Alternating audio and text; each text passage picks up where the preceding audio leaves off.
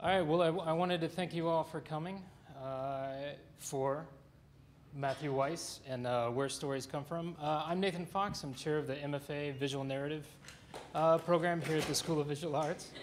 Thank you. Uh, some students are here. Uh, if anybody would like to accost them and ask them about the program.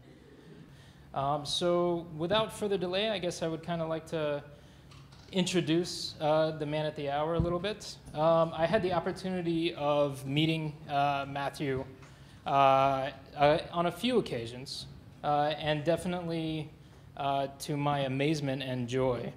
I think our first conversation, our first real heady conversation, involved Star Trek, gaming, comics, why Superman mattered, I think. I think you were arguing that against my opposing force. And, uh, and we, I think we, we hit it off rather well. And I'm really excited to have him here, uh, as well as future engagements for the program, uh, but more that, about that in the future. Uh, and uh, to have him here tonight uh, to talk about where stories come from. so to give you a little bit of a background, he's a game designer and writer whose work spans industry as well as academia. he has been a narrative, des narrative designer at Harmonix Music System on Fantasia, uh, Music Evolved, uh, the game design director of the Gambit Game Lab at MIT, uh, and a consultant for Microsoft, PBS, uh, and other transmedia storytelling uh, and game design, just to name a few. So without further delay, please welcome Matthew Weise. Thanks. Okay. Um, everybody can hear me, uh, and I guess this is for the room, they say. Um, I don't know. Well, we'll see if I need this. Okay, uh, I'm here to talk about where stories come from, as I'm sure you know from the title. Um, so yeah, uh, we'll just jump right into it. So uh, a little bit about me. Um, I did work uh, at MIT for many years. Uh, I worked on experimental storytelling at MIT. Uh, I worked for Harmonix Music Systems, which, as you know, did uh, Rock Band, Guitar Hero. Um, I was the first person who was hired at that company as what we call in video games a narrative designer, which is a designer who also can be a writer. In this case, I was, but it's mainly a, a designer whose job it is to make sure that the experience of the story comes across to the player. Um, I did an experimental game at MIT called the experimental narrative game called The Snowfield, which was nominated for the Independent Games Festival. Uh, which was a charming game about freezing to death during the First World War that was highly emotional and very dramatic, and you can actually play it for free online. Um, and then um, Clara Fernandez, who's here, and I uh, worked on Transcendence Origins, which is a prequel to the Johnny Depp movie that came out a few years ago for Warner Brothers, um, in which Johnny Depp's brain takes over the internet and becomes the internet. So uh, it's a movie to check out. Also, uh, I, originally, even though I'm a practitioner, I come from media studies, so I'm very interested, uh, as you'll soon find out, in uh, you know, kind of an archaeology of ideas, uh, where, where all these things we want to tell stories about come from, um, how different myths, characters, and archetype come together. and I've done some writing about that, mostly in the vein of how they have been transferred to video games. So for example, I did uh, wrote a chapter for this book on James Bond in video games. Uh, and also I've written quite a lot about uh, horror video games, how characters and tropes from horror have been adapted to interactive systems. Uh, and uh, now, uh, Claire and I have a company called Fiction Control, and we do immersive storytelling in games, in different kinds of digital entertainment, and we're working on our first big narrative independent project.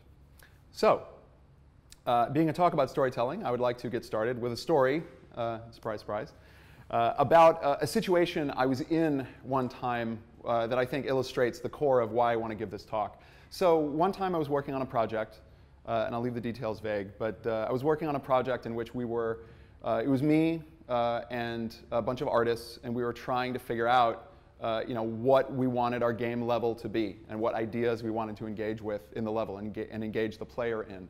And we were thinking of different inspirations for that. And people were thinking of different myths and legends, you know, the kind of stuff you see in video games all the time. And at one point, uh, one of us brought up uh, the idea of uh, the golem, right, which is this uh, mythological concept of this kind of clay figure that comes to life. It's originally a Hebrew folklore kind of character. And um, it was funny because there were many people on the project who were kind of with me. They were like, oh yeah, that's really interesting. There's a lot to unpack there. There's a lot of ideas that you could be inspired by. But uh, there, was, there, was, there was one person who was like, oh, um, I actually don't want to be influenced by anything uh, because uh, I just want to not think about what I'm doing so I can, you know, be original. And, uh, and, uh, and besides, those things were done in World of Warcraft, and I don't want to do World of Warcraft because that's what golems are. They're those things in World of Warcraft, which is what that is.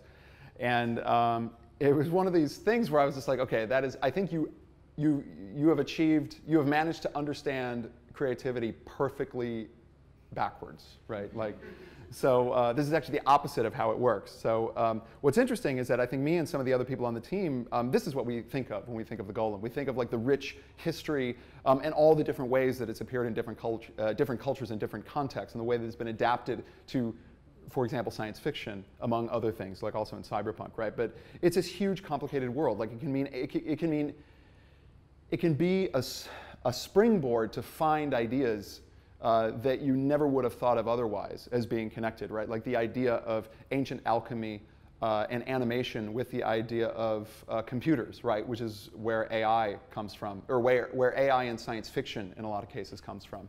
So, I mean, you know, this person was thinking of World of Warcraft, and me and some other people were thinking of Blade Runner, Battlestar Galactica, Ghost in the Shell, right? Like all these kind of like rich possibilities that you can get from the idea of bringing inanimate uh, material to life as kind of a base concept.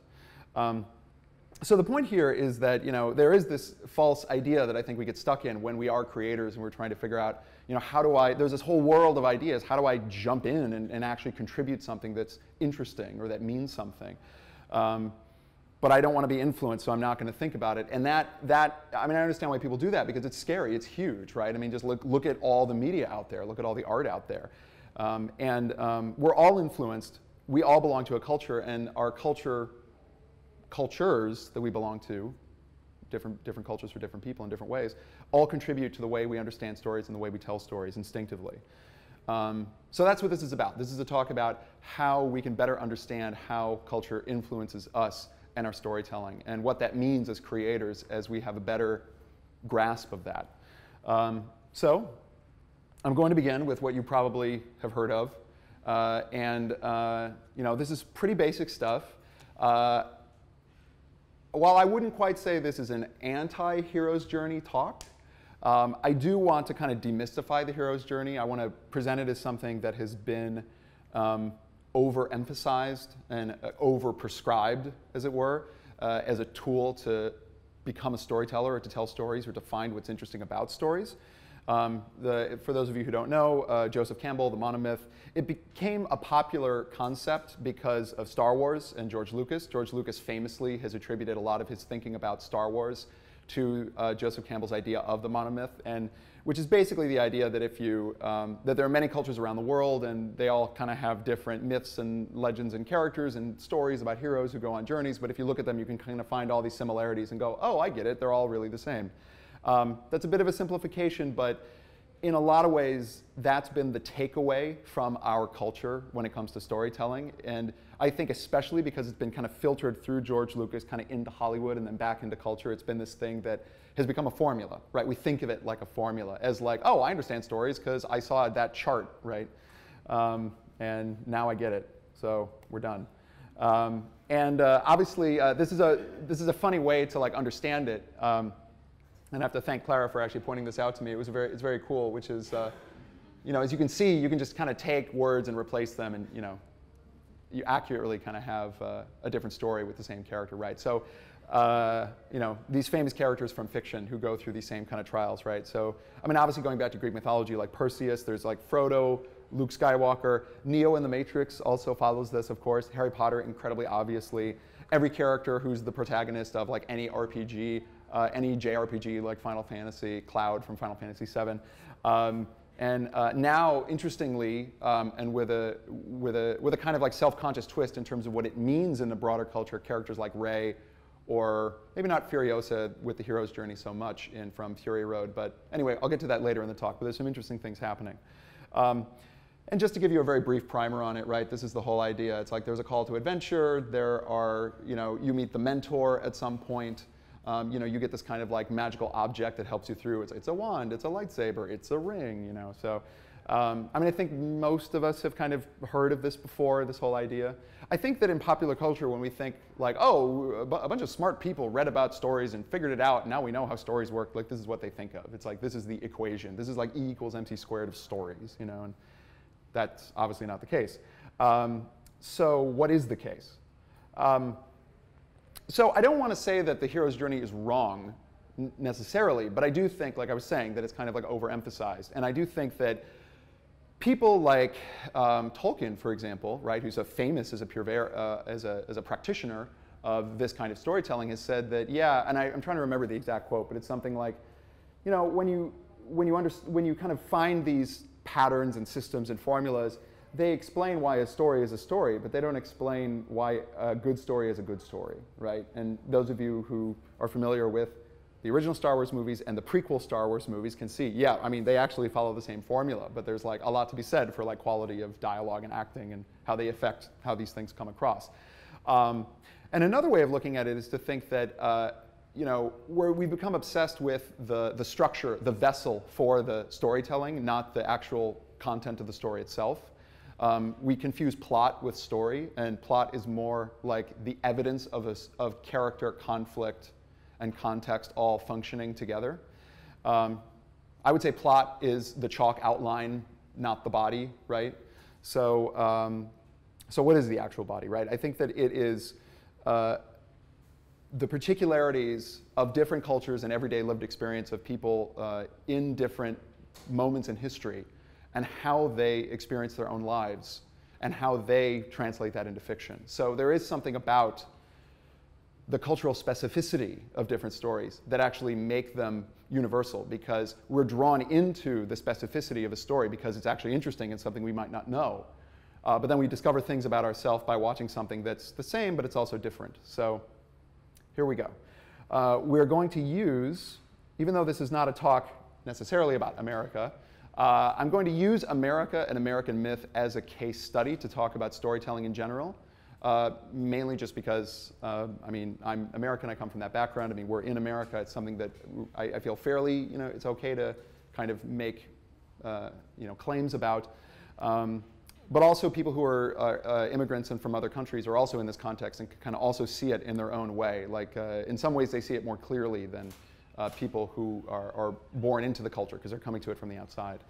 Um, so anyway, we hear a lot about cross-cultural myths. We hear a lot about how characters from different cultures are really the same, not about how they're different, right? And in some very general ways, they're the same, but the ways in which they're different are actually very interesting. And we get stuck on this general level of the monomyth that we kind of never dig down and talk about uh, specific cultural myths and specific cultural archetypes. It's not just about the hero and the mentor. Um, it's about these particular American cultural myths that I'm going to talk about. And uh, unfortunately, I'm not going to get to the last one. You'll have to talk to me about, uh, you know, future engagements uh, here perhaps to learn more about that. But we're going to go through the first three today, hopefully the first three. May have only time for the first two, but hopefully we'll get through all of them.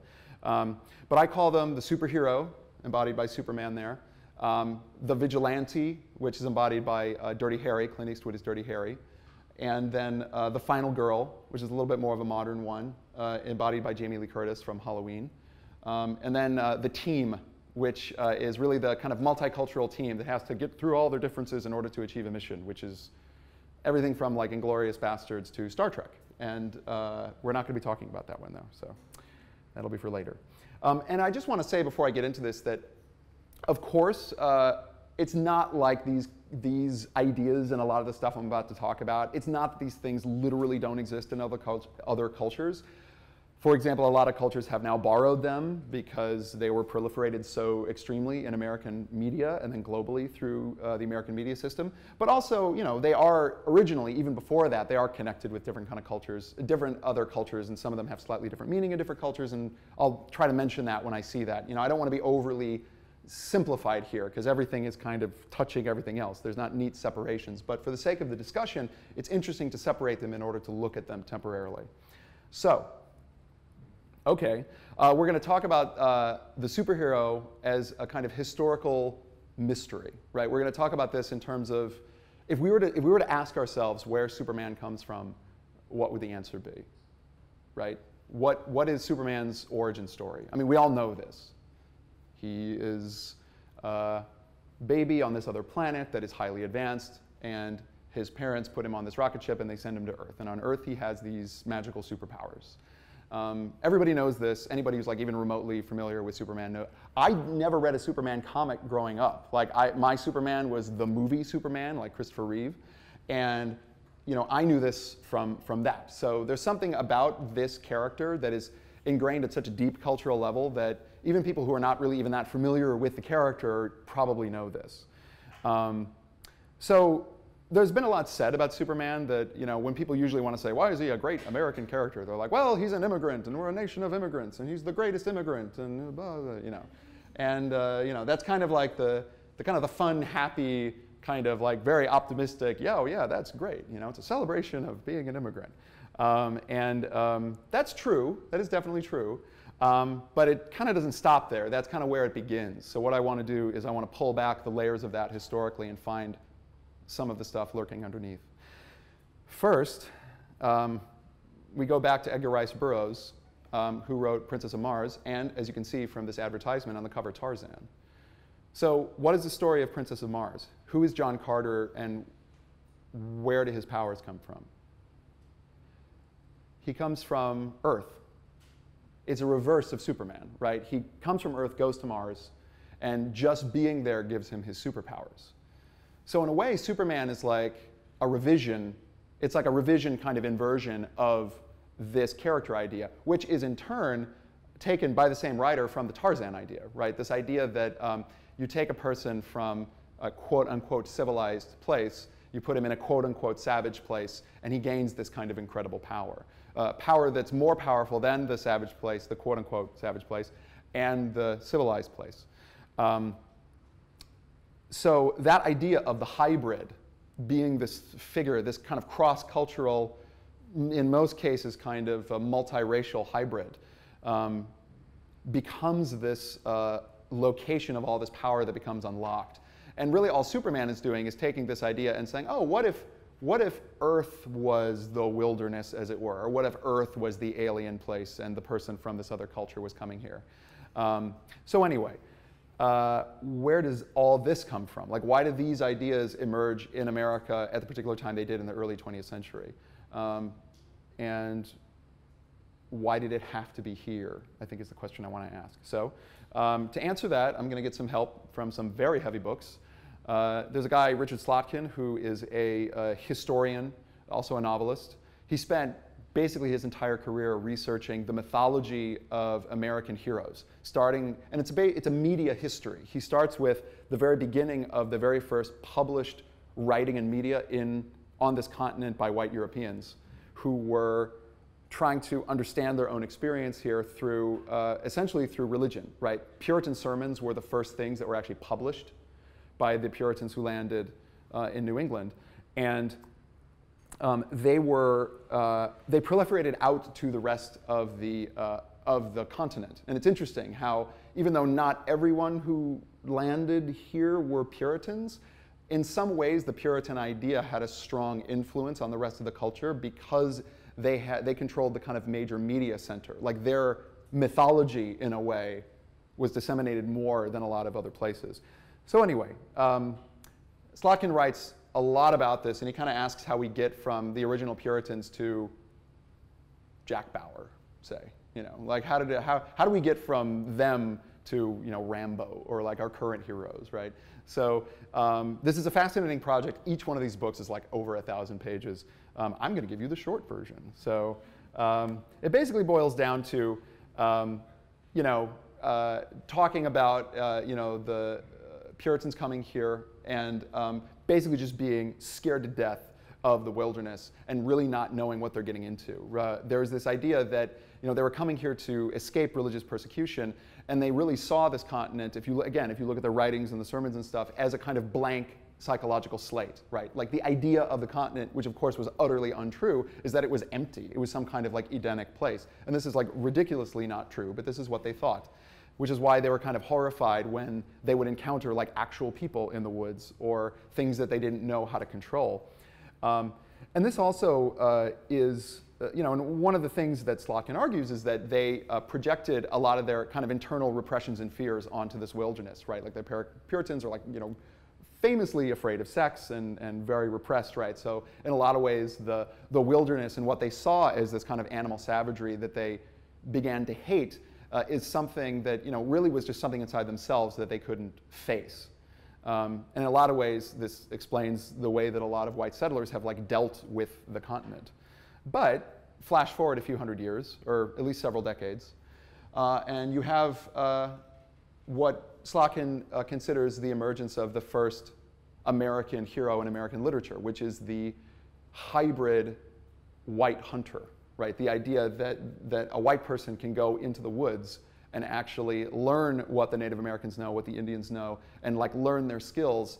And somehow, because again, this is this is white racist thinking, but like because he represents something that's more civilized, he's combining the superpower of European civilization with the kind of like animal power of the continent and emerging as a kind of like super person who combines animal power and kind of like higher intelligence. And this is essentially the, um, this hybrid hero kind of character. This is one of the earliest examples of it. Now, Daniel Boone was a real person, but after his death, he was heavily mythologized as this kind of person who was like very intellectual and a statesman, but could also like, you know, kill animals and skin them and do all this kind of stuff. He could survive. He was like the white person who had like learned how to survive in this continent. Um, and we flash forward a few decades later and we get to, of course, Theodore Roosevelt, who took this idea and kind of brought it to the level of like national consciousness. How many of you have been to the Museum of Natural History here? Right? It, this, is the, this is the Teddy Roosevelt Museum of Death, right? It's like, it, it's, it, it's, it's, it's, ba it's basically just animals that he killed, right? And then brought them here. And you see him, so, and again, we have him as this kind of like triumphant character who is flanked by these native characters. Um, kind of drawing power from them. But of course, he's the one on top. It's kind of like he's the master of the continent.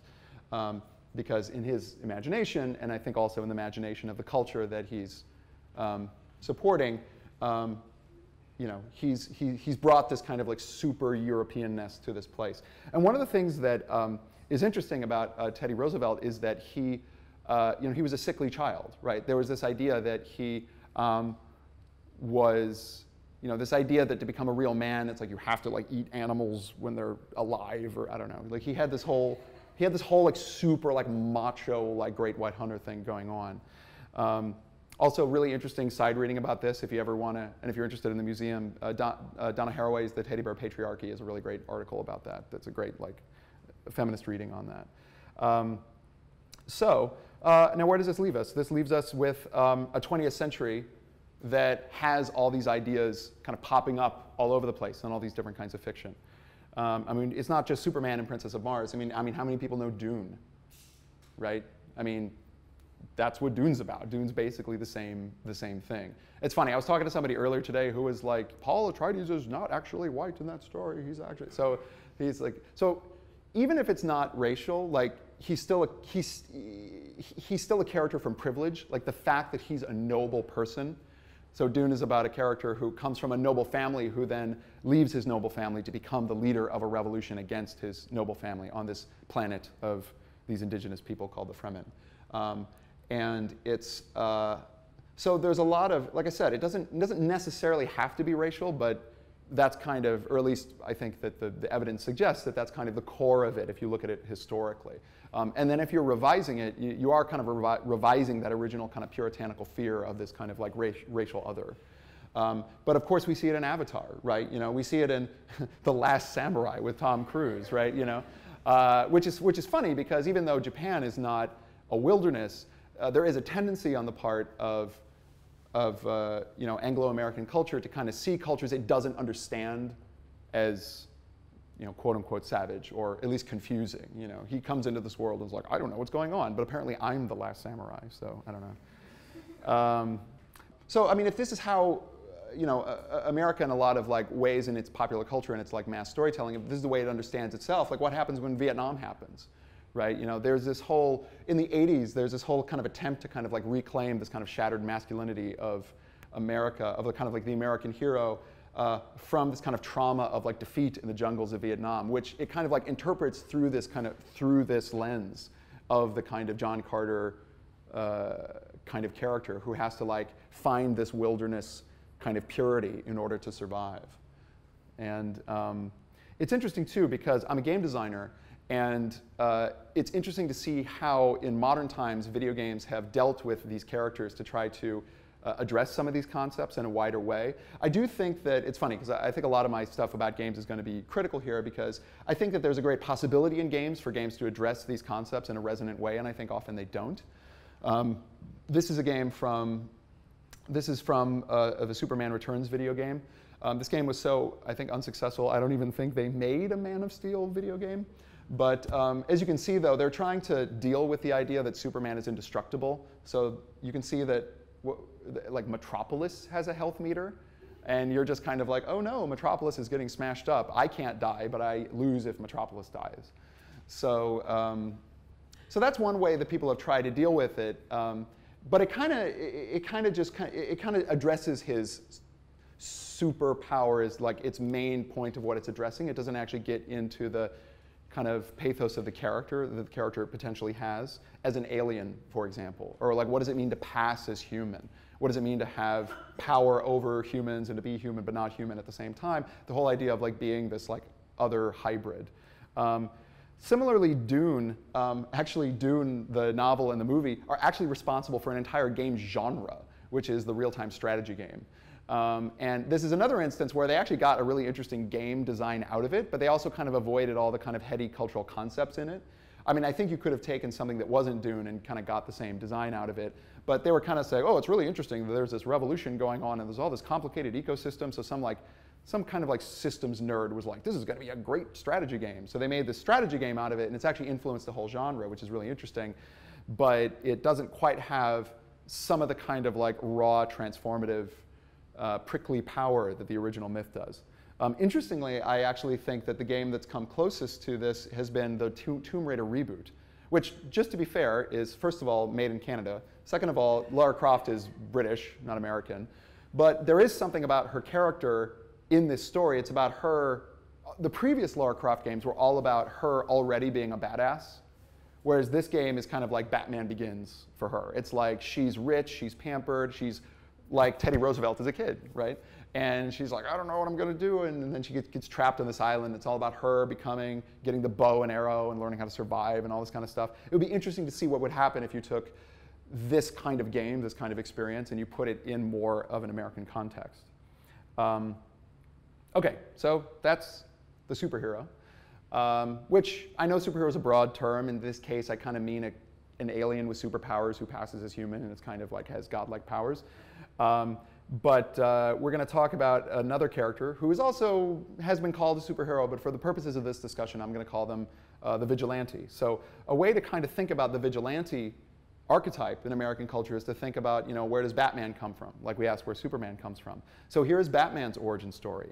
Um, what is he responding to? You know, what is this character responding to and what inspires him? I mean, this, in, in some ways, you know, I mean, everybody knows, I would assume, the story of like Batman's parents being killed, and he's a rich kid, and his rich parents get killed, and rather than going to a therapist, he's like, I have to dress up and beat up people for the rest of my life. and uh, so uh, this, is, uh, this is how Bruce Wayne deals with it, but pay attention to the marquee. And this is actually part of the DC canon in the universe. I don't think it was part of the very first instance of the character, but I do, at some point, this became important. And it is referenced uh, in a few Bat, uh, a few Batman stories that are pretty famous, including Dark Knight Returns. But The Mark of Zorro, right, is uh, the film that they're seeing the night that his parents are shot. And who is Zorro? What is Zorro all about? So, I mean, Zorro's a masked vigilante during the Mexican rule of California, also of noble birth. And it's important to point out he's actually kind of not really a Mexican hero. I mean, he's invented by this Anglo American guy from Illinois um, in 1919 and uh, then becomes this kind of big film kind of phenomenon, television phenomenon a few decades later. Um, but it is interesting, though, that he is very much a kind of kind of proto version of a Batman character. He is in a Wild West context, which is a world of guns, but he doesn't use a gun, he uses a sword, kind of in the same way that Batman is in an urban world of guns but doesn't use a gun. Um, and the idea that he has to wear a mask and that he comes from noble birth. These are all ideas that are kind of like being reinvented in an urban context in kind of, you know, 150 years later with, uh, with Batman. Um, so here's the question, where does this idea come from? So for this, we're going to get help from a different scholar, uh, actually a film critic, J. Hoberman, may have heard of him. Uh, he has written quite a lot of film criticism. He wrote this amazing book called The Dream Life, which is basically about the 60s. It's about film in the 60s and how film is related to politics in the 60s. And he basically asks the question like, wow, you know, the 50s and the 70s are really different. Um, what happened? And uh, one of the things he talks about a lot in the book is the death of the Western. The 60s was the era when the Western was dying as a popular form. So, what is the Western all about? Again, we have the we have a character with a mask, uh, the Lone Ranger, another famous Western character that also has that kind of masked vigilante aspect to him. Um, it's important to mention here that uh, the, this is kind of related to the Daniel Boone Teddy Roosevelt character, but uh, they gave birth to many different kind of variants of this archetype. So uh, the cowboy is related to the kind of great, quote unquote, great, great white hunter character, but it's not exactly the same, although obviously they're related. Um, but the Western, interestingly, um, as, as the um, European colonizers moved west, uh, this became the main defining fictional mythology of the latter half of the 19th century when it was happening, and most importantly, the first half of the 20th century. So it really wasn't until the 70s that the Western was dead as a kind of mythological form. So the first, after the West died at the end of the 19th century, the whole first half of the 20th century is all about thinking about the Western, trying to understand all of our modern conflicts through the lens of the Western. There are West, like if you look at a Western that's made during World War II, it's all about World War II. Look at one made during the Korean War, it's all about the Korean War. Made during Vietnam, it's all about, you know, so like there's a way that like America's use the Western is kind of like the American genre, right? And from a, in a global sense, it's often the genre that the world, the rest of the world looks at America and says, oh, that's the genre that you invented. Um, so anyway, um, what's interesting about the Western is the Western is how America asks itself what is civilization and what is justice. So we have here High Noon, which is the story where uh, you know one character knows what's right and has to go against everybody, and the system is broken, but one person can dispense justice. Um, on the right, we have a bit of a darker take on it, which is John Wayne and the Searchers, who is, uh, it's a later Western, and it's a Western that's beginning to, I don't know if it's quite questioning, but at least beginning to be less kind of squeaky clean about the kind of difficulties of he's a he's kind of a bloodthirsty murderer in this story. And in a lot of ways the kind of like it, it, it's almost like uh, early western characters are kind of like early batman and then like later western characters have this more like you know dark post frank miller kind of batman aspect to them. Um, so uh, what else is happening in the 60s right? So we've got um, the western which is dying and as the Western dies, it's reflecting what actually happened to the West when the West died, which is that urbanization came in and took it over. The wilderness became the city.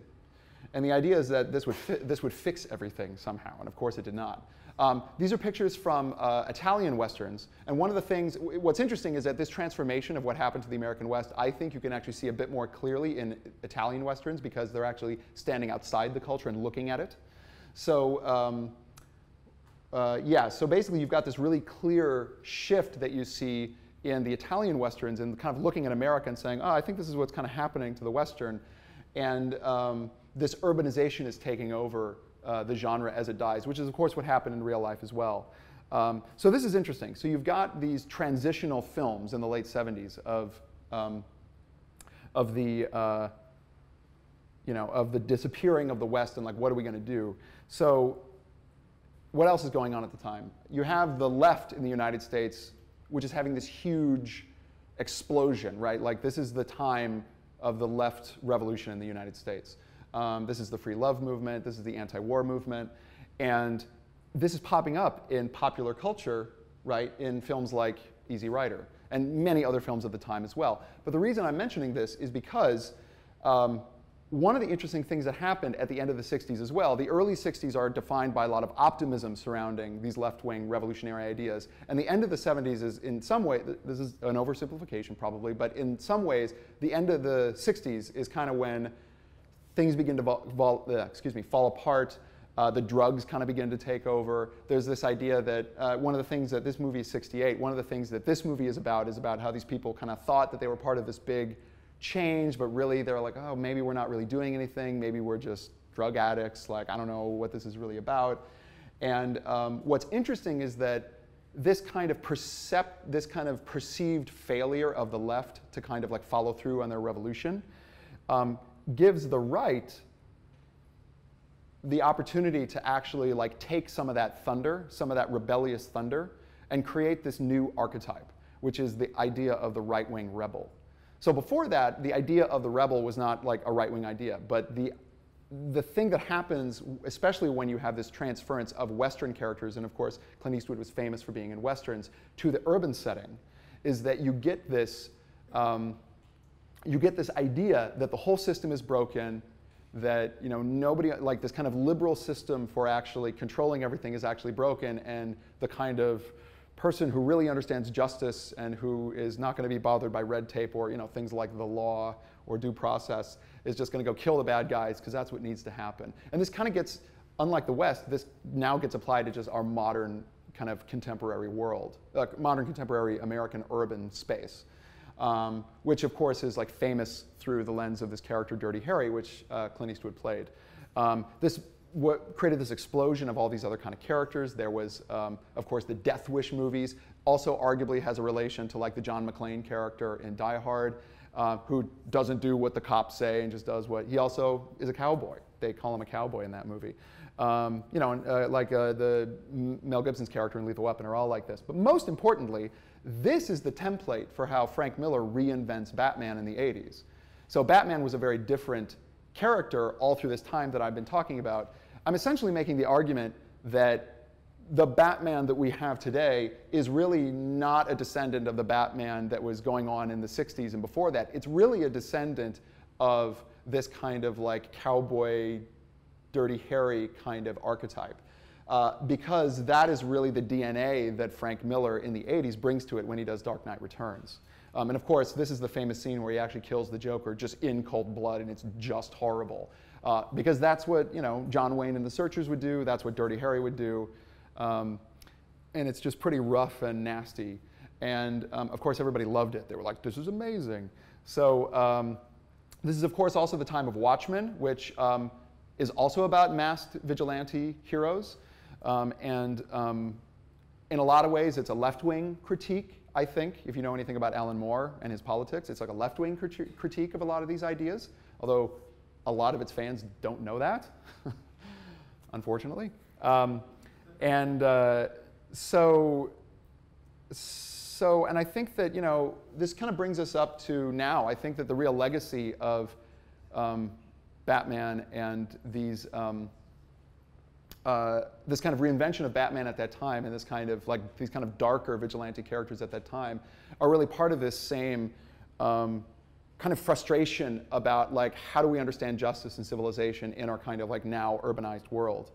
Um, one of the things that I think is pretty interesting about this is that everybody loves Batman. Kind of everybody loves these characters. I think because in a way it's like easier to imagine your. I mean, that's kind of what Kick-Ass is about, right? It's about it, being able to imagine yourself as the superhero. Um, it's like just normal people, right? And um, that makes it very appealing. And of course, everybody kind of projects their own politics onto it, and that's kind of one of the power, one of the powers of this kind of stuff. But what's interesting about this is that, um, you know, obviously, if you're familiar with the Christopher Nolan Batman films, is that when you're when you're dealing with a character that has this much kind of political baggage to it, and this much kind of, you know, kind of like the the rage of kind of like privileged middle class white people kind of buried in it, you know, you kind of are trying to uh, you know, from a left-wing point of view, you're kind of always kind of acting against that. You're kind of trying to explain it away or minimize it somehow, which is why you get all this bending over backwards in the Christopher Nolan movies about like, oh, Batman is like, he's a dark guy, but he's, uh, he's kind of, he, he'll do these awful kind of pseudo-fascist things, but then he totally is like, no, I will not become the real bad guy, right? Which is, as you, this is, this is from, uh, as, you, as you know, this is from The Dark Knight, the second film where he hacks everybody's cell phones to create all this data and essentially just, you know, is invading everybody's privacy. Um, and I remember when I saw that movie when it came out, uh, you know, of course, there was all this controversy about like, oh, should the government be able to look into your computer? No, you know, and all this kind of stuff.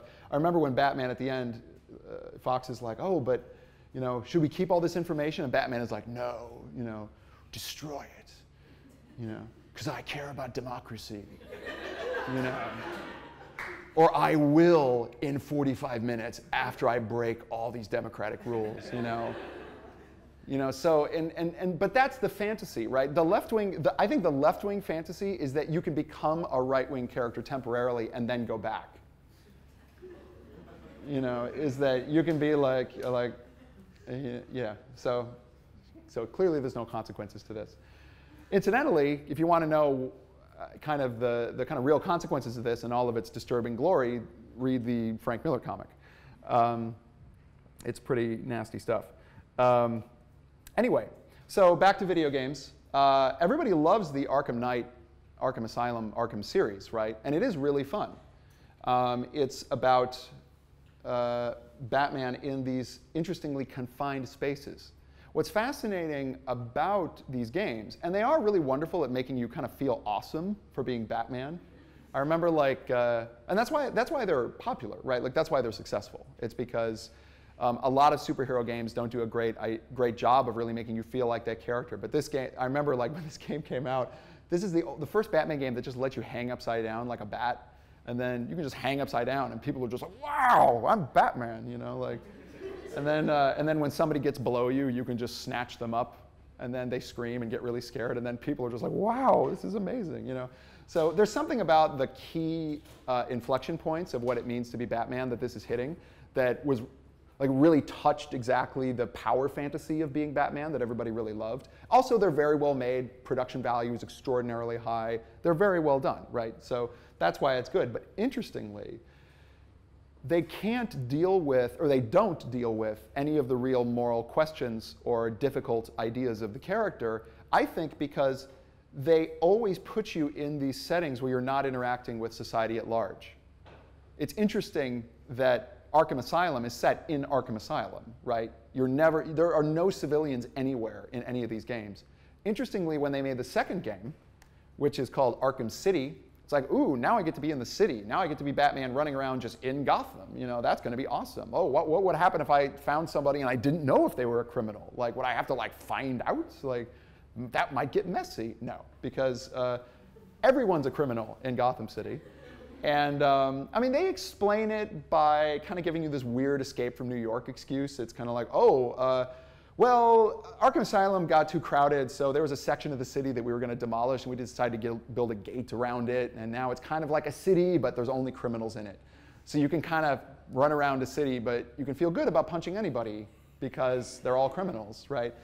So clearly, Batman doesn't have to deal with any of the troubling ideas that go back to the Western or the vigilante, right? Uh, because we know everyone's bad. Um, and that's an interesting question about video games. Like uh, some people actually argue in video games, well, because video games are about being fun, you can't deal with those things. Because if you started to deal with them, they would become uninteresting. This is, of course, nonsense. Um, but this is what a lot of people believe.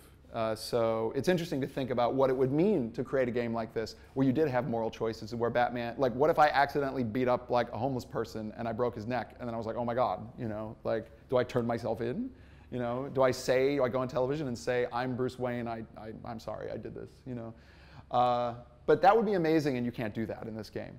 Um, similar with games like Red Dead Redemption, which actually are based on the Western, right? Um, these are games that kind of pay a lot of lip service to the moral grayness of the genre, but they don't actually follow through on it in the gameplay. Now, speaking as a game designer, one of the ways you can tell whether a game is really about the ideas it claims to be about is if they are verbs in the game, and they are things you do in the game, and they are choices you are given in the game. This game is hardcore into telling you, oh, this is all about this guy who wants to go straight. He doesn't want to be a criminal. He's all conflicted. Well, he's not conflicted after I killed 400 people on that last mission, you know. But he'll be like, oh, I don't want to kill people. And then a cutscene happens. Or well, he'll say in a mission, oh, I really don't want to kill people. I feel so bad. And it's like really well done, really good production value. Writing's good, acting's good. And then, you know, you kill 400 people, and then when the mission's over, he's like, oh, I really don't want to kill people. So it's just, I mean, it's ridiculous, right? It's, uh, it creates a kind of narrative dissonance that a lot of these games, I think, can't really recover from, or they can't really address these ideas. They kind of have to like wink and look the other way. And it's a real problem. And people in games will tell you that it's because games can't do this, and that's not the case. It's because marketers won't let them do it, or they're afraid to step out of that boundary of wish fulfillment, of violent wish fulfillment. And there are games that have moral choices, and there are you know, games like Bioshock, games like uh, Mass Effect. Uh, there's lots of games that do it, but uh, the Batman game doesn't do it. It's interesting. Uh, this game doesn't do it either. Okay, so um, I call this one um, from Wray to Rey, from, from, um, from, oh yeah, I had to have at least one bad joke, so there we go. But uh, so it's interesting. This is actually about it's about the final girl archetype, but it's it's kind of about more than that because uh, I kind of wanted to use the final girl as a way to talk about kind of um, women in fiction in general. Um, but we're going to talk about the, the final girl uh, mainly here. So um, anyway, um, in a way, this is this this is this section is about like what does it mean? You know, uh, how do we how do we how do we arrive at this cultural moment where we have a character like Rey in The Force Awakens who just saves herself? Um, obviously, that's an awesome thing that should be happening. Um, but it's interesting because that was not happening not too long ago. Um, so where does a character like that come from, and how do we get to her from these earlier representations that we see in films like King Kong, where you have this like very obvious, you know, damsel in distress kind of figure? Um, the final girl incidentally, for those of you who don't know, is uh, the idea, it comes from horror. It's the idea of the woman who is perceptive, who is resourceful, who all of her friends die, but she lives. Uh, and she normally would be captured or killed, but she fights back and wins usually, or at least she's the last person standing. Um, so that's not like a uniquely American concept, but it is interesting because we can, going back to Slotkin, we can take it back to the idea of captivity narratives. This is one of the biggest things that was, this is basically just like the, the pulp story that you would read, right? Like at the time of the Puritans. It was like, oh no, the, the women are going into the woods and not coming back, you know, and, and like, you know, and, and then, and then, uh, and what is happening? You know, do they want to go out there? That would be even worse, you know, so, um, so there's, a, there's a lot of anxiety around that, and, um, and you get, it, you see it kind of proliferated through these different genres. Um, this is also from The Searchers. This is what John Wayne is so angry about in The Searchers, the idea that um, this, uh, I think it's his niece, I can't remember, but it's like, uh, you know, this young woman in his family has been stolen as a kid and she grows up as an Indian. And this is like, and at the end it's like, he's like, I'm gonna kill her, I'm gonna kill her. Like he'd rather kill her than actually like, you know, have her be raised as an Indian. So the idea that, um, uh, you know, that there's like, that this is the most horrible thing possible, that women are actually this thing that the men in Puritan fiction and in reality we're so afraid of um, is something, you know, trying to save women from that is uh, one of the main preoccupations of this kind of like masculine heroic mindset. Um, interestingly, too, um, the worst of all thing that could happen um, is, of course, women not even preferring the company of uh, Indians or Native Americans to white settlers, but actually just wanting to go out in the woods to be by themselves and just be with other women or just be awesome, you know. And uh, for those of you who have not seen this movie, The Witch, check it out. It is like super great. Um, and also, just to mention, you know, obviously witches are not like a uniquely American concept. They're very, all these things I've just said about uh, you know, this kind of like uh, masculine insecurity and possessiveness. This totally like exists in other cultures and goes back to witches in Europe. So it's not like unique to America. But the reason why uh, women leave and the reason why the men are afraid is, uh, is different. It has this American flavor to it. So um, anyway, so uh, we find these kind of like representations of threatened women all the way up through the birth of cinema. Um, obviously, we find them um, you know, after second wave feminism, you know, they kind of get a revision, and I think that Princess Leia is kind of like a transitional figure when it comes to this. Um, that you know, she she's still kind of like trapped, but at the same time, she gets to fight.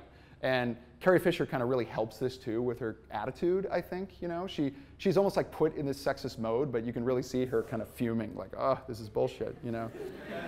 and uh, and uh, and it's and it's interesting because it's it's almost like she is a character who's a a character and an actress who's kind of like who's kind of like struggling within this genre mode that is within this kind of archetypal mode that is like just barely ready to kind of collapse, but is not really collapsing yet. Um, and where it really becomes to break apart is in horror, is in horror films, uh, specifically horror films in the 80s. This is a book by Carol Clover, which is a really wonderful book. It's like a feminist um, analysis of like 80s horror films. And um, she is the one who coined the term final girl. And uh, she wrote about it and did this really extensive study about it. And the very you know, simple breakdown of it is that you know, the women who would normally be killed in a horror movie eventually fight back. And this is, of course, um, Jamie Lee Curtis and, um, and her mother, whose name I'm forgetting. Janet, Janet Leigh, yes. Okay. Janet Leigh and Jamie Lee Curtis. Um, Janet Leigh, of course, is in Psycho. She dies. And then uh, Jamie Lee Curtis is in Halloween, um, kind of 20, about, well, no, 18 years later, probably.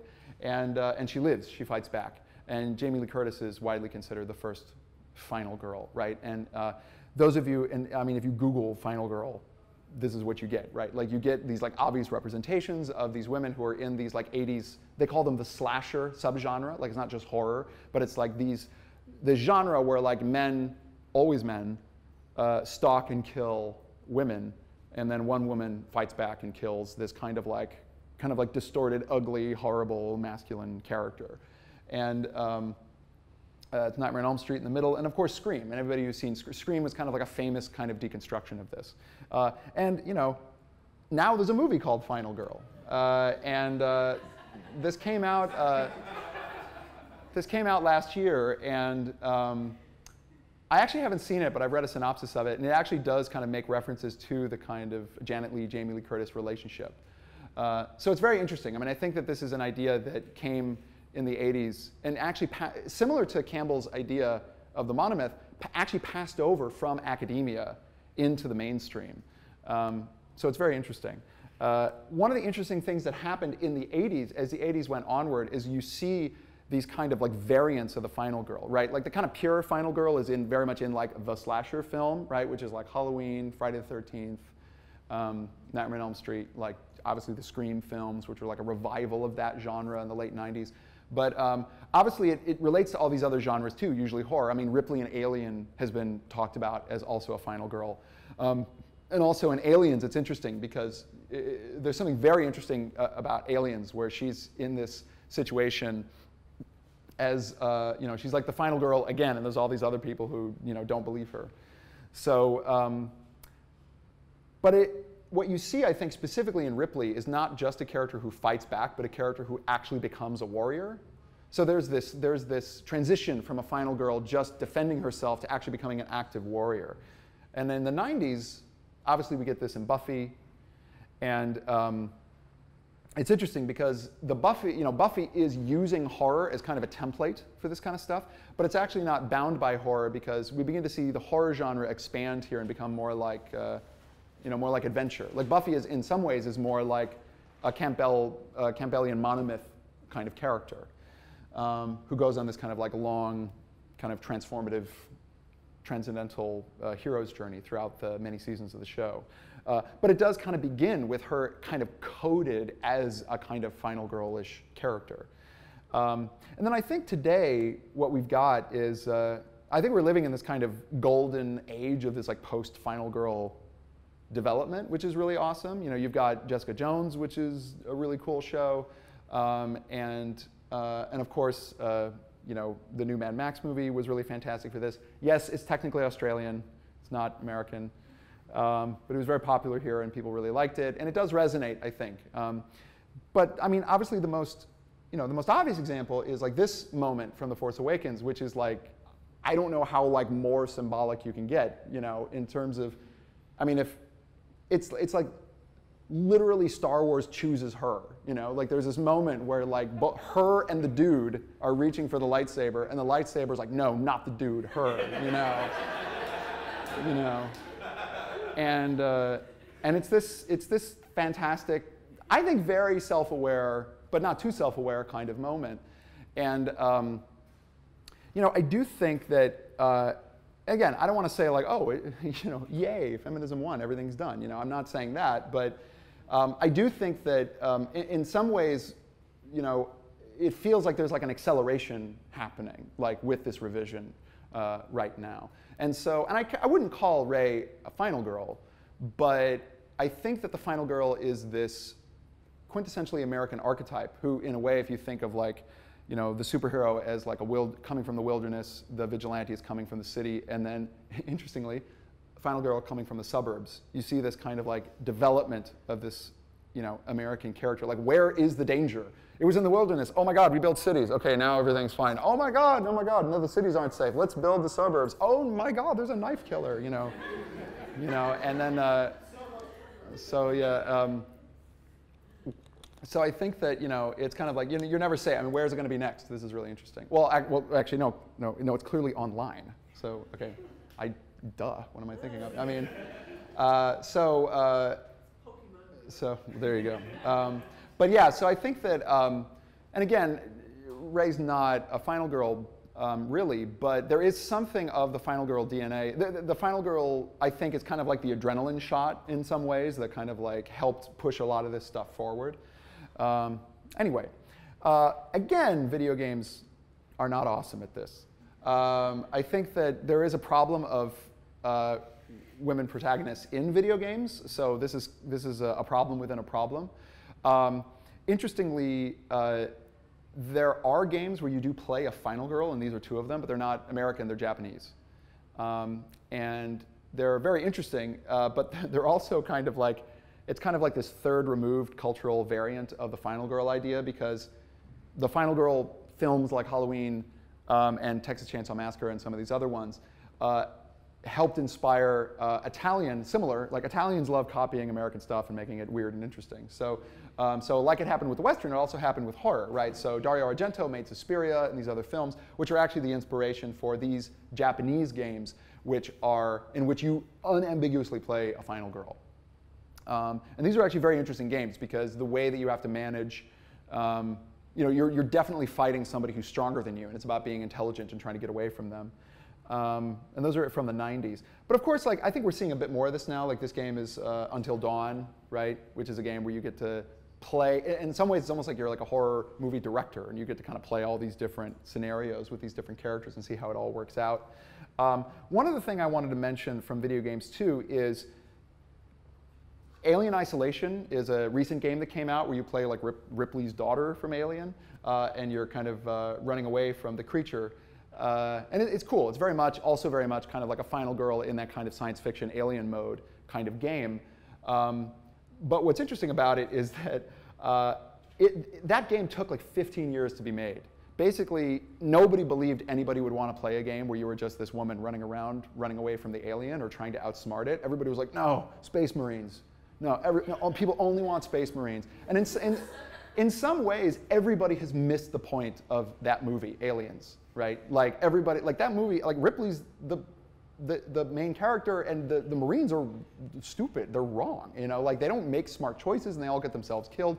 All, like most Aliens video games up until this point, they're like made by the Bill Paxton character in that movie. You know, they're like, this is going to be awesome. You know, and it's like, it's not awesome. It's actually horrible, right? And so I think that there was an Aliens game. There was a game called Aliens Colonial Marines, which actually just it it um it was in development for I think like six or seven years, and it came out and it was just terrible. And because that was such a disaster, they finally gave a green light to this game. But they actually that game had to tank in order for some executive to be, oh, okay, fine, you know, make the game where the woman is the hero because that actually is what made the movies great. But you know, never mind, you know. But uh, so yeah, so it's interesting how this thinking gets so turned around. Also, I wanted to mention too that uh, Samus Aran from Metroid um, is inspired by Ripley.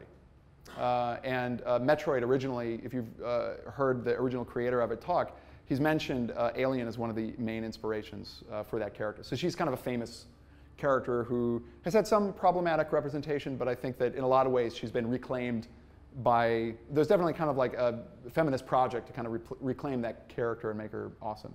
So um, anyway, so that's basically it. Uh, I want to leave, we're not going to talk about the team. Uh, so, you know, DLC to be continued.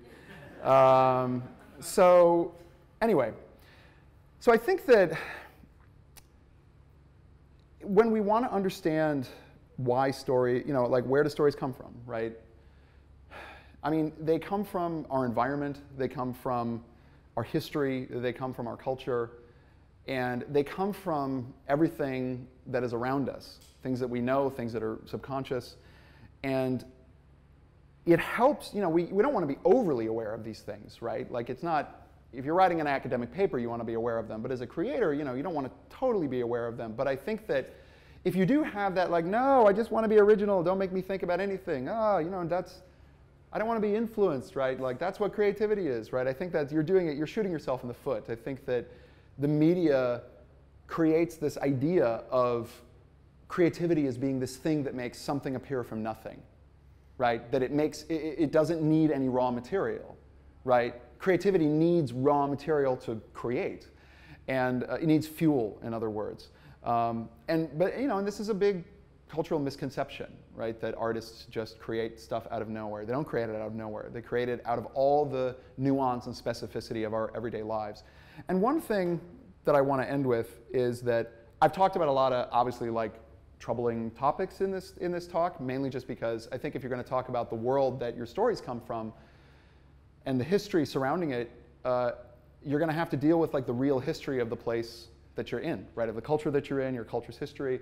And it's important to not run away from that stuff, but to also understand that this is stuff that you can transform, right? Like you can't choose what culture you're born into, and you can't choose what kind of psychological baggage you're saddled with, but you can choose how you try to transform that and play with these symbols. And of course, there's bad ways to do that. I'm, I mean, this is, it, it can be terrible, but um, you know, it's something that um, we all get to try, and the more you learn about other people's experiences and see where your experiences stop and other people's begin, the better perspective you have, and I think that enriches all of us as storytellers.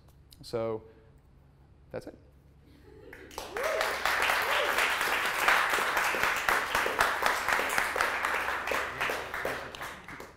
What do you think of the American archetype uh, of the underdog and how that relates to? Oh, the underdog? Well, it's interesting because I think that yeah, and I, yeah, I mean, I think I want to stress too that like, I mean, these are not the only ones, right? Like, these are just like I've, I, I happen to have read some books that articulate these particular ones, right? So, I mean, this is not like these are the ones, right? So, yeah, no, I, the underdog is an interesting, is it's a character, it's a kind of character that we talk about a lot. I guess my first question would be, is it American? Maybe it is. Um, it, uh, I mean, it's certainly part of the whole mythology that the country and the culture has of coming from nothing, as it were, you know what I mean, being weak, um, perceiving yourself to be, I mean, maybe it goes back to the Puritan idea, right, of like, uh, the Puritans are the underdogs, perceive themselves to be the underdogs because they're kind of these, you know, weak Europeans kind of against this wilderness that they're not accustomed to. Um, and it's interesting to think when we, when we think about abuses of power, you know, I mean, and we see this in, you know, when people are being killed in the street today, that you know the people who are doing killing are, are people who imagine themselves to be the underdog, right? You know, they're just like, they, it's somebody. Oh God, what is it? So, I didn't mention this in the talk, but Alan Moore, so who did Watchmen and all these things. Man, that guy hates superheroes.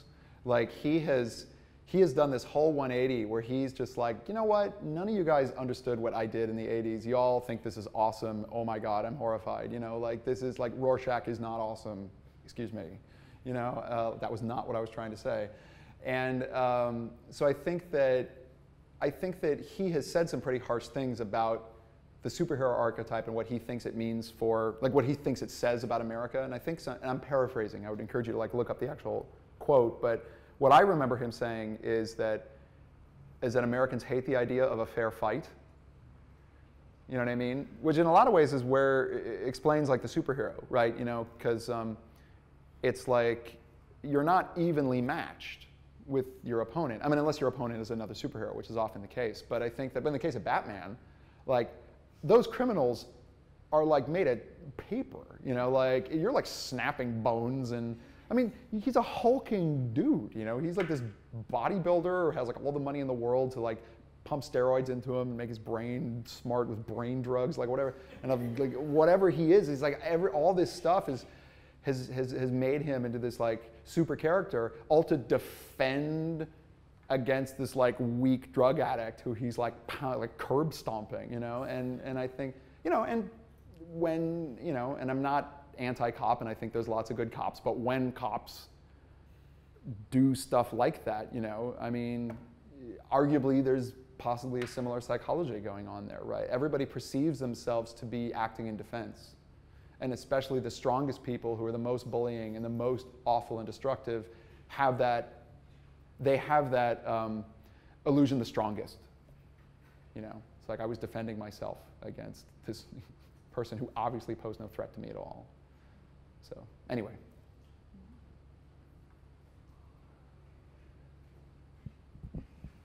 So when you approach game narrative rating, how do you how do you keep theme and character consistent when the player has choices to make that could alter that? Um, I think that uh, well, I think it's just about understanding what the limits of the player choices are and not, you know, just planning for it. A lot of people don't plan for it, and a lot of people don't.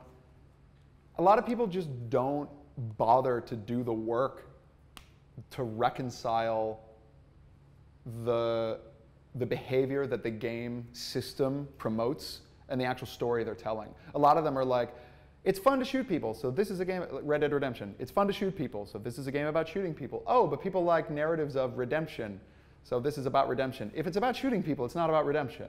You know what I mean? And it's kind of like, and I think that um, there is a tendency to just ignore the problem or to say it's too hard or, or whatever. Um, I just think people don't do the work. I think people, I think that any problem like that is actually solvable if you, if you actually do the work. And you can see it in games that, that actually do the work. I mean, I think that there are, um, like I said, that there, there are games where, um, you know, like the Mass Effect games where you're given moral choices and you can't randomly just go around shooting everybody in that game. The game doesn't let you do that. But you also understand that you're not supposed to do that, right? That like Shepard, Commander Shepard wouldn't do that. So when I press a button, the button that normally pulls out my gun and shoots, and that button doesn't work without explanation when I'm standing in front of an innocent person, if you present it the right way, that doesn't feel like a broken game. That feels like characterization, right? That feels like, well, you, that button doesn't appear here because the character wouldn't do that. Um, but it's all about framing. It's all, it's all about how, I, I think that that coming off as feeling like character or it coming off as feeling like a broken system or a confusing system is, I think the, that's a very tough needle to thread and it requires teams to be coordinated in ways that they often are not in game development. Like the programmers, the artists, the writers, the producers, everyone all has to be functioning as a well-oiled machine. It can't just be like, design the gameplay, then we'll write something. You know, like it, that can't be your system if you want that level of coherence in your game design. And slowly it's changing. Um, narrative design is the art of getting that system, that system in your production actually designed properly so you can achieve stuff like that. I think it's, it's funny, I think it's a production problem. I think it's a production problem, and I think it's a literacy problem. I think a lot of people don't know it's possible because they have too many bad examples. And people who don't want to try point to those bad examples as if, as if that is just the state of technology, right? And it's not. It's, it's, it's a design problem that is solvable, and you just have to put the effort into solving it.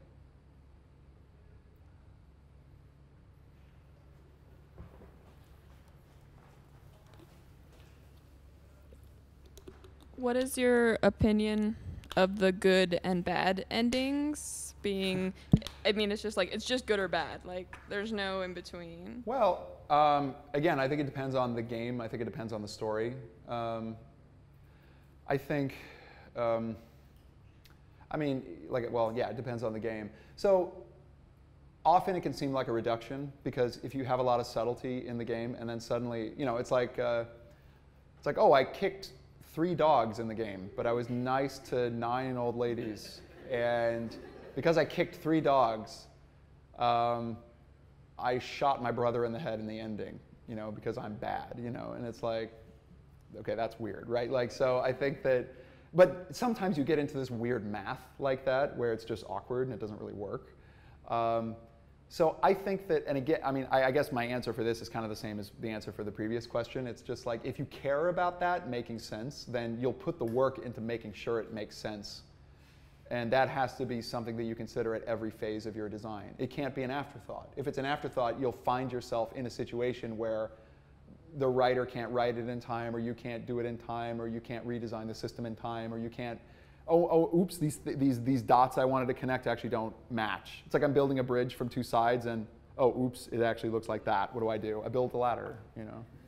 So, and it's ugly, you know. Uh, that's kind of what, I think that happens in a lot of games where it feels awkward like that. And again, I think some people try really hard and because they haven't designed their process right or because of like meddling from producers or marketers or whatever, it can end up badly. So it's not necessarily their fault. Or it's people who just don't care or one person on the team doesn't care and they ruin it for everybody. You know, I mean, there's all the different variants of like how these things can go wrong. Um, I think that there are, in the, the idea of binary endings is interesting though, because I think it can be done well. Um, the very first Legacy of Kain game, I think actually did something pretty interesting. It had one choice at the very end, and you only got to make it one. You only got to make this one choice, and then you, you chose whether you got a good or bad ending at the end. And the thing I liked about it is rather than give you all these choices during the course of the game that then kind of locked you into a particular view, really what it did is it gave you no choices in the game. So you're a vampire in the game and you kind of, you don't know, the game is being narrated from the future, it's being narrated in past tense, and you don't know where it's being narrated from. Is it being narrated from this future where he dies, or is it being narrated from a future where he fully embraces his vampiric side and becomes like truly evil? And the game kind of in, in, in, the way that interesting writing does in a linear story, foreshadows both of those things kind of ambiguously, right? I mean, it's like David Lynch, right? It's, it, it has that kind of ambiguity to it. Um, and then in the ending, it's like the lady or the tiger. You're just kind of asked to choose which you believe it actually is. And I think which one feels more right kind of depends on how you read the character. Um, I like that approach. Not a lot of people do that. And obviously, it wouldn't work for every game. But, um, but yeah, I don't know. I think by just being stuck with things that are binary is sometimes a frustrating design problem. And it can work out. I mean, again, I think if you put your resources into solving that design problem elegantly, then you can solve it elegantly. And if you don't put those resources in, then you will be building that ladder and apologizing to people. So. So a lot of the archetypes that you uh, talked about um, really focus on this kind of idea of power and power fantasy in a certain extent, right? Um, and even like go, going further back, those puritanical models were again to give readers this sense that there is some level of control. Um, my question is that like you know video games really fill that role often. Um, do you feel that because of that, um, narrative now has kind of this golden age where it can kind of expand away from those models of power that they've kind of continuously fallen. Are you saying so? What exactly are you? So you're are you asking that do video games make it easier for us to escape some of these limited ways of understanding people, or? Well, no, specifically like this idea that you know these video games are filling this role of the power fantasy of the the, the oh, yeah yeah and because of that, it filling that popular idea that other forms of storytelling and even video games to a certain extent are kind of in this golden age where the, that model is kind of being left behind in a way. Wh- which model? The, the, the power fantasy. Model. Oh, well, I think the, I mean, uh, I don't, I'm not sure how to answer that. I think that the, I don't. I wouldn't say power fantasies are being left behind. I mean, I think they're too big a part of the culture. I think that. Um, I think there's a question of like where you locate your power, right? And I think that. I mean, you can be a total pacifist and be like, any kind of violence is bad, right? I mean, there are people who who who don't think that Furiosa and Fury Road is feminist, right? Because because she hurts people and hurting people is masculine, you know, fundamentally. So, I mean, different people have different ideas about that. I'm not saying it's one or the other, but. Uh, um, but there's different ways to look at it, right? Like you can be like a hardcore pacifist about it. Um, I do think that power isn't necessarily bad, right? I, I think that it, it, depends on the context, right? I, I, do think that there's a cultural hunger at this moment to like explore this stuff a bit more and a bit, you know, because I think that even morality aside, I think people are just like bored, right, with just like the same stuff, right? So there's, I think there's a bit of a willingness to try to explore these things in popular culture. But I think that um, what's kind of interesting that's going on in games right now is I think games are kind of having this fight where um, they're so invested in the kind of power, historically, and historically meaning the last 20 years, um, they're, they're so invested in the power fantasy narrative. I mean, in other media, it's not like other media aren't, but games kind of especially are. Um, that I think that um, the way that I think the the fight to kind of like decouple that narrative from games or decouple it as or separate it or, or begin to see it as something that's not fundamental to the idea um, as um, I think that's a that's a hard fight in some ways. I think the resistance to that is unfortunately maybe stronger than in other cultures. Um, one thing I will say though is that when people say games are about power, they're wrong. Games are about agency, right? You know, an agency doesn't have to take the form of like stabbing somebody. It just means being able to exert some kind of will over the situation you're in. Um, whether that can be a conversation, right? I'm just amazed that there aren't more. I mean, like in Japan, they have all these amazing genres they don't have here. Like they have dating games and they have all this like stuff and like it's like oh my god, you know? It's like what is wrong with people? It's like just bring that stuff over, you know? I mean, they are now. They are doing more of this now, but it's funny. One of the things that I say in one of my workshops is when I talk about James Bond is that not that James Bond is not like some amazing you know, character in fiction, but it's just amazing to me that all the video games that involve the character don't have seduction. It's like, it's like, how is that not a game mechanic? You know, that I mean, it's it, it, it's like it is it is in Mass Effect, you know, it is in a lot of games. I would just love a James Bond game where you the world blew up because you like failed to be a gentleman. Like that would be, you know, you know, but uh, that would be amazing, right? You know, and it would, and you know, and you know, and you can do. I mean, of course, there should be versions of it where you're playing as the the woman and seducing the man. I mean, I think there's all sorts of things you can do, right? So I think, I don't know. I mean, it's a very fraught thing in games in particular, um, and um, I think it's changing. I think it's going to change, and I think it. Um, I think. I mean, I th- in a way, I think the future looks good, but I think we're just kind of living through some growing pains. So. Uh, oh, sorry. Uh, the microphone is there, but then we can. Yeah, then we can move it over here. Okay. Yeah. Um, in the beginning, you talked briefly about the classic model of fantasy and the way that characters leave um, for journey, and Yep. then after adventure they go back home. Yep. Um, how would you relate that uh, model to the examples you discussed? The what? The the uh, examples you discussed here. How would you relate uh, that model? How, how would I how, relate. relate? How would you apply those um, that model to the examples you discussed here? Are Oh. Oh, I see. You mean like how do some of the archetypes that I mentioned, the American archetypes, how do they fit the hero's journey? uh, yes. Oh, uh, that's a good question. Um, huh? I'm trying to think of like what's the most American one um, that also fits the hero's journey. I'm trying to think. I mean, I, I mean, there are certain aspects of the way that I mean, not all of them follow like. I mean, if, we- if we sat down and like looked through the details, we could probably find some that follow that hit like every point, and they're like a to- total classic hero's journey fits everything, you know. Um, but there, there are certain there are certain parts of the archetype that do crop up in different characters, right? Like like um, you know, like like the guy who who gives Batman all of his gadgets, um, Morgan Freeman, because I know the movies better than the comics. Yeah. uh, Lu- what's his name? Fox. Fox, Lucius Lucius Fox. Um, but he. Uh, so yeah, I mean, you can see him as like, oh no, well, no, he's not the mentor character. The um, the first movie was about uh, Ra's al Ghul, be, uh, as the kind of, th- th- in a way, the Batman Begins is about what happens when, you know, Obi Wan Kenobi trains you, but then he, it turns out Obi Wan Kenobi is actually Darth Vader in disguise.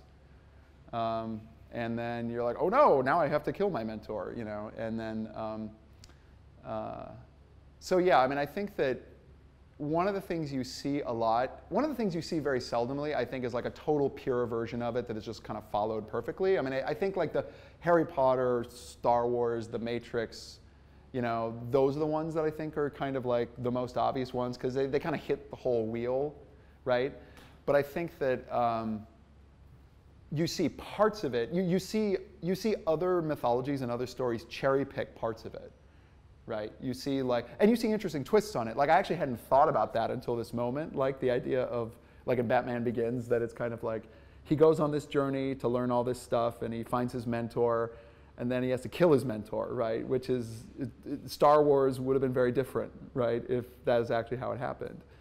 Um, so, so yeah, I mean, I think, I mean, I think we could sit down and like think about this a lot and find a lot of interesting examples. But yeah, it's really it's a template to be used however any storyteller sees fit. And in fact, it, it kind of becomes more interesting the more you mess with it, right? You're like, ooh, what if I combine these two characters? right? What if I what if I took what if I took the the you know the the mentor and the um, the kind of like ultimate evil character and kind of combine them, right? Or what if I what if I made them the what if I combined them with the hero? Like the hero has a split personality or something like that. I mean, you can do endless kind of variations on these ideas that way. So anyway, no, it's it's fun. It's it's part of it's part of the mix and match of the whole thing. So let's see. So how about uh, I saw two hands raised, so maybe just two. Maybe two more. Thank you guys for grading uh, Swelter, by the way. So What did one more, one question here. Sure. Sorry. Yes. So the, yeah. Sorry. um, so the so I'm really glad you ended on that point there about this idea of combining characters because one of the things I think is really interesting with computer games is. Um, you're combining yourself with another character within the game, and the clearest time I've ever seen this happen was um, the original uh, Star Wars: Knights of the Old Republic game. Um, there was a really good um, article written by somebody who had decided to write what it was like to be the most evil character in that game they could possibly be. Okay. And it starts out with them being like, "This is really fun. I get to do whatever I want." And by the end of the game, they're like, "This is not me. I feel bad about what I'm doing." And it was like this really sort of strong revelation about how his character related to this experience he was trying to um, portray in the game. And I think what was interesting about that was that if that character had just been evil and he had no agency in it, he would have played that game without having any qualms. And I'm guessing I guess I'm, what I'm curious about and what I'm interested in asking about is how do you combine a person's own agency with a character to maybe put them in situations where they do feel uncomfortable and learn something about themselves? I mean, I think for me, uh, that that area between um, that kind of uh, ambiguous middle ground between what the player wants and what the character wants, the character as written. I mean, it's, it's very complicated because I think a lot of people will tell you different things about it, right? Because everybody imagines a different kind of game. Like, my relationship with my character in a game can be anything from they make all the choices for me and they are a written character and I don't really have any control over them to they don't say anything and I do everything, right? Like, so there's a whole spectrum. I think you're talking about something where, I mean, it gets interesting when you're kind of in the middle, right? And there's some things your character do and there's some things you do. And it's like, how much of it is them? How much of it is me? How much ownership do I really feel? Again, I mean, I guess my, my answer, kind of like before, is that I think that that can be designed intelligently where there's a very strong metaphor or a very strong understanding of why I control certain actions and why the other person controls other actions. And that can put me in uncomfortable situations on purpose. Like, um, one of the things I one of the things I like in the Metal Gear series is that um, there's a lot of talking in that game, and you know, so in a way, I'm not that character. I'm not the special forces guy, but I feel like I'm his job.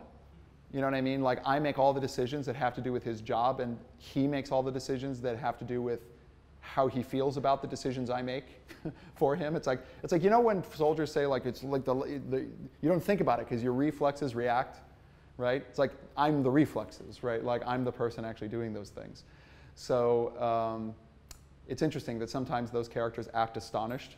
You know, like if you punch somebody in the face, they're like, "Why'd you punch me in the face?" Like, I don't know. I felt like it. You know, and and uh, I mean, not every game does that, but there are some games that play with that boundary in, in interesting ways. My favorite one is uh, this game, Deadly Premonition, which is like a, again, it's a Japanese game. It's kind of an open world simulation of Twin Peaks. Imagine an anime, imagine an anime version of Twin Peaks, and that's exactly what this is. Um, but the way it works is that um, your main character, who's like this FBI agent, who's basically Kyle MacLachlan from Twin Peaks, he has a split personality called Zach, and he's always talking to him, and he's like, And you're like, who is this person he's always talking to? And you realize he's talking to you. You're his other personality. And you're the personality that's good at driving and shooting, and he's the personality that's good at talking. So when you wa- so you walk around the game world, but then when you walk near a character and you press the button to activate the cutscene, he's like, he's like, don't worry about it, Zach. I know you don't like talking to people. I'll handle this, you know. And then a cutscene happens and he talks to them, and it's very, it's, it's, it's very cute, right? The way that game does it, and it's kind of humorous and kind of meta. Uh, and obviously, not every game can do that. But my point is that every game needs to find its solution for that dissonance problem, and it can be complicated, it can be simple, it can be jokey, it can be serious. You know what I mean? I mean, I think that again, it's it's it's about the it's about the design planning you, you put into it. Um, I think some things are harder to do than others, but at the same time, I, I do think that because games are technology oriented and because we focus so much on the technology, we tend to not think about it as design. You know, we think about it as like, oh, the technology can do this. It's like, no, designers do this. You know, like programmers do this. The technology doesn't actually do anything on its own. Um, but so much of the excuses and reasons are kind of offloaded onto the technology. I, I just think it's a matter of, I think it's a, everything is a design. I'm a designer, so for me, everything is a design problem, right? Um, anyway, Which brings me to my question, which is you mentioned at the beginning a project uh, that was in development with you. Could you tell us anything about that? Oh, um, I don't know if I can. Uh, it's a uh, so we're working on a. Um, it's interesting because it, it actually does involve mythology and and uh, uh, history in uh, uh, certain ways. Um, so yeah, it is a a. Uh, I'll say that it's a uh, it's a first-person mystery game, uh, adventure mystery game. It's not about shooting, uh, but it is about exploring, and uh, you're exploring a uh, you're exploring the history of uh, the tech culture uh, surrounding uh, MIT and some of its dark secrets. So, I love it already. I can't wait. Thank you. So. Thanks a lot. Thank you.